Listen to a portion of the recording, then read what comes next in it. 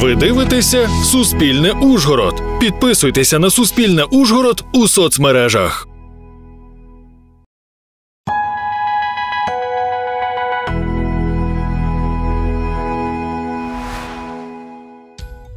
Близько 11 тисяч сповіщень тривожної та пожежної сигналізації надійшло до поліції охорони в Закарпатській області за 9 місяців цього року. Наразі за всіма об'єктами стежать за допомогою пульта спостереження.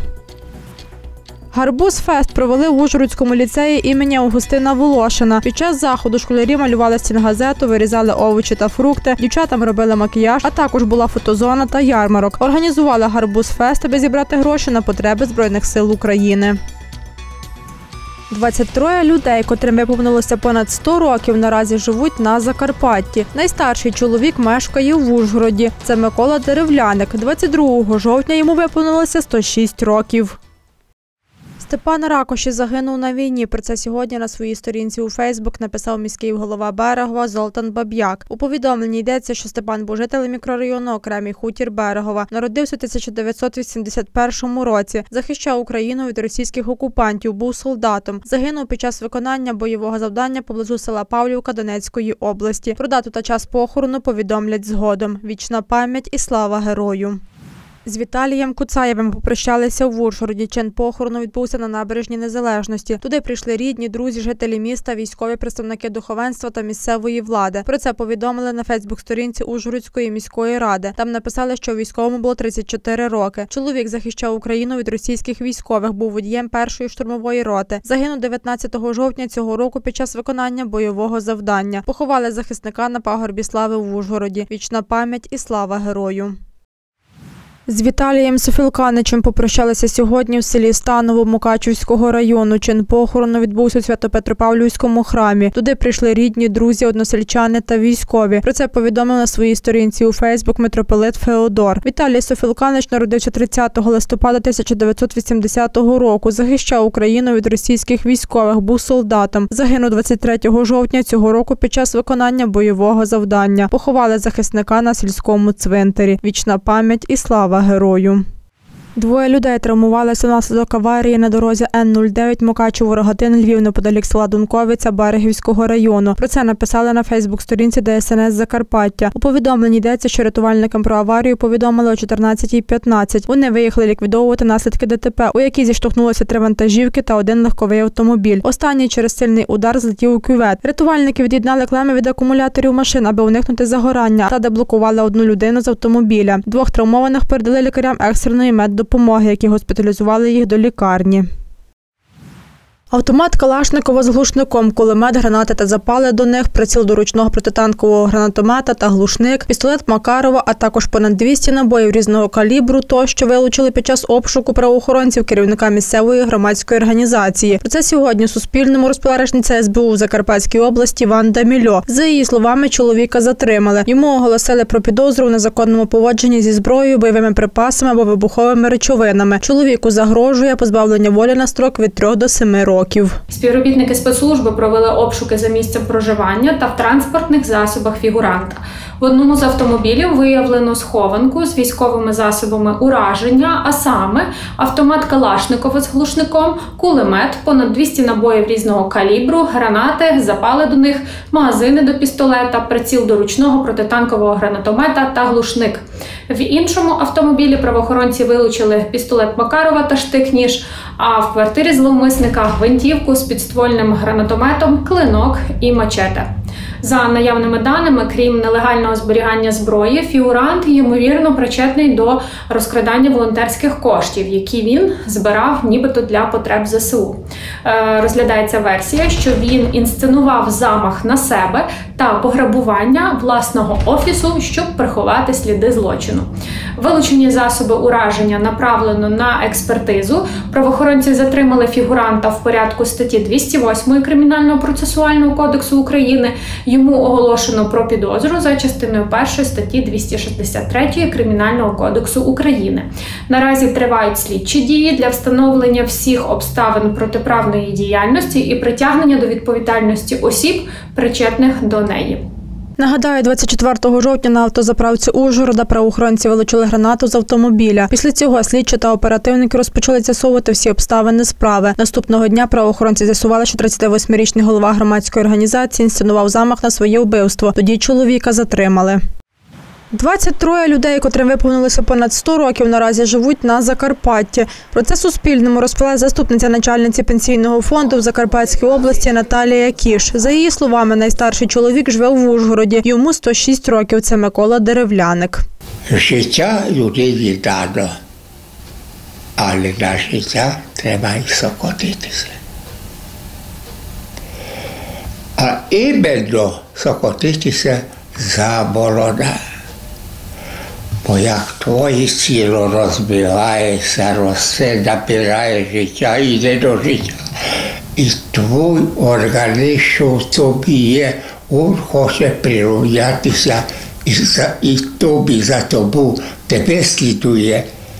І як ти його сокотиш заборона, так вона тебе сокотить на старінне. Подякувати. Ані одним душі орган мені не жалується, що тоді нікуди щось, то щось, то щось не так поводиш, як я заслужу, заслужив. Ніколи я його не обіжав, ніколи перегружав, ніколи ту буде місто доброту і вдячна має бути людина, що не тривожиться спокійно, спокійно твоїм життям. Так що вона вже така, такі і мої органи. Наразі в Закарпатті довго жителів більше 100 років е, 23 особи, з них 17 жінок і 6 чоловіків. Найстаршим проживає в місті Ужгород. Е, в принципі, всі компенсаційні виплати нараховуються відповідно до 843 постанови Кабінету міністрів. Е, вони передбачені і нараховуються від 70 до 75 років 300 гривень, від 75 до 80 років 456 гривень, від 80 років 570 150 гривень. Е, не нараховується сума компенса- Компенсаційної виплати, якщо сума пенсії з усіма надбавками перевищує 10 тисяч 340 гривень. Е, В області е, пенсіонерів, які отримують надбавку від 70 до 75 е, років, в- в 300 гривень майже 42 тисячі 900 осіб, е, 456 гривень майже 26 тисяч, і понад е, 80 років до 570 гривень отримують майже 26 тисяч також осіб. Це ціння виплати, яка нараховується особам щомісяця, і ну вони відповідно до свого віку отримують ці виплати. Це операційна зала головного пункту централізованого спостереження поліції і охорони. Сюди надходять сповіщення з тривожних кнопок та сигналізації, а також виклики від громадян. В наші обов'язки входить вчасне реагування е, спрацювань, вчасне реагування спрацювань будинків, тривожних кнопок. Е, Під нашою охороною є будинки, магазини, ну і різні об'єкти. На моніторі вискакує, е, якщо є спрацювання. По історії ми бачимо, чи знявся об'єкт, чи ні. Якщо спрацювання тривожної кнопки, у нас негайно, ми негайно викликаємо наряд поліції. Скільки в день у вас переважно є 16, слухаю. Буває по-різному. Приблизно 30. Понад 6 тисяч об'єктів охороняють працівники поліції охорони в Закарпатській області. Стежать за цими об'єктами через пульт централізованого спостереження, розповів заступник начальника відділу технічної охорони Антон Зейкан. Встановлена сигналізація в будинку. У разі е, проникнення в будинок, коли нікого нема вдома, сигнал тривога надходить до нас на пульт. Дівчата якраз на цьому пульті спостерігають за нею. У разі спрацювання її направляють наряд поліції для затримання правопорушника. Середній час е, доїзду по місту у нас складає від 3 до 5 хвилин. Понад 60 спрацювань по області надходить в день. У нас, якщо до прикладу, плюс-мінус 11 тисяч спрацювань дійшло охоронної, тривожної та пожежної сигналізації на пульт за 9 місяців цього року, і 14 правопорушників було затримано при цьому. нарядами поліції. 25 жовтня представники поліції охорони в Закарпатській області отримали сертифікат відповідності європейським стандартам пункту централізованого спостереження. Даний сертифікат означає, що наш пункт централізованого спостереження відповідає європейським нам стандартам, які затверджені технічними комітетами понад 23 країн. Покращується е, якість надання послуг. Тобто, ми завжди готові і будемо працювати незалежно від ситуації, незалежно від нештатних ситуацій. Проникнути в даний пункт неможливо.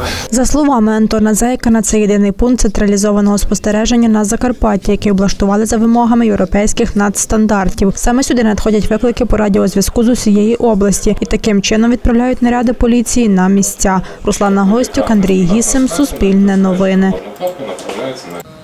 Давид учень Ужгородського ліцею. Вдома після навчання він полюбляє випікати дієтичні тістечка. Свій рецепт доповнив новим інгредієнтом гарбузом. В основному вечором печу, тому що я привик, що вечором багато часу, ціла ніч попереду, так що є, є час. Плюс воно виходить свіже. Тобто я закінчив десь у 2 години ночі. І е, я в основному взяв рецепт за основу, який я роблю дієтичні кекси, тістечка. І вийшло так, що все-таки все прекрасно підійшло. Стандартний рецепт, ось два яйця, чуть-чуть муки і ну, тиква, зверху вишня. І воно всього ж спеклось за півгодини. Гарбуз фест відбувся в Ужгородському ліцеї імені Августина Волошина. Головна локація благодійний ярмарок гарбузових солодощів, які діти мали приготувати самостійно. За зібрані кошти ліцей купить дрон для військових і відправить його на передову. Софія та Назар на ярмарку продають свої фірмові смаколики. Продаємо власноручні роблені якісь солодощі, котрі зробили учні нашого класу. Тут є різні запіканки, є різні кекси е, і яблука. Є кекси у виді грядок, у виді кладовища з е, летучими мишами. Ми продаємо на гарбуз фест. Логічно, що всі ці гроші підуть на ЗСУ, тому що всі хочуть е, жити під, мір- під мирним небом, це очевидно.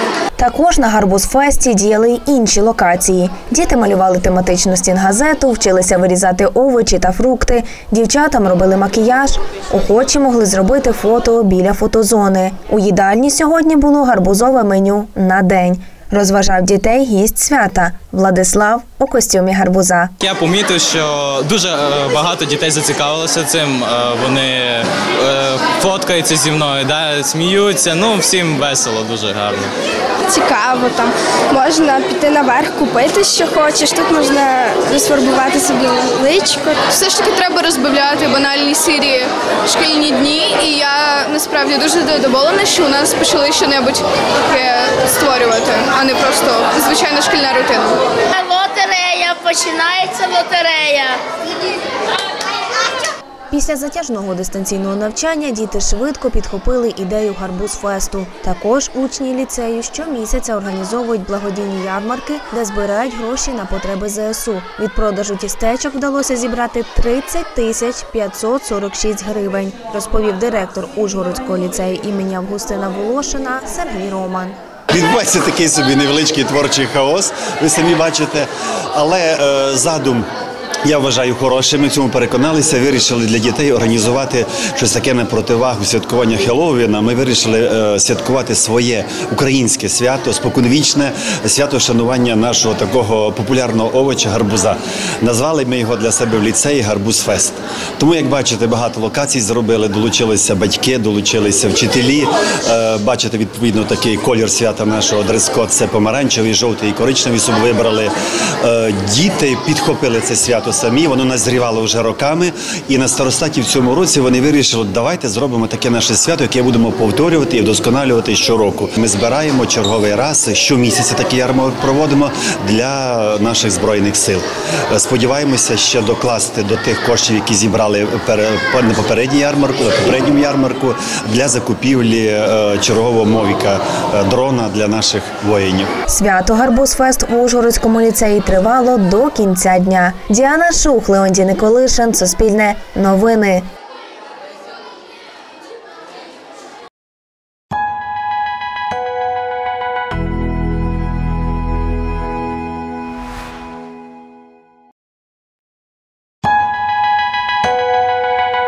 Ви дивитеся Суспільне Ужгород. Підписуйтеся на Суспільне Ужгород у соцмережах.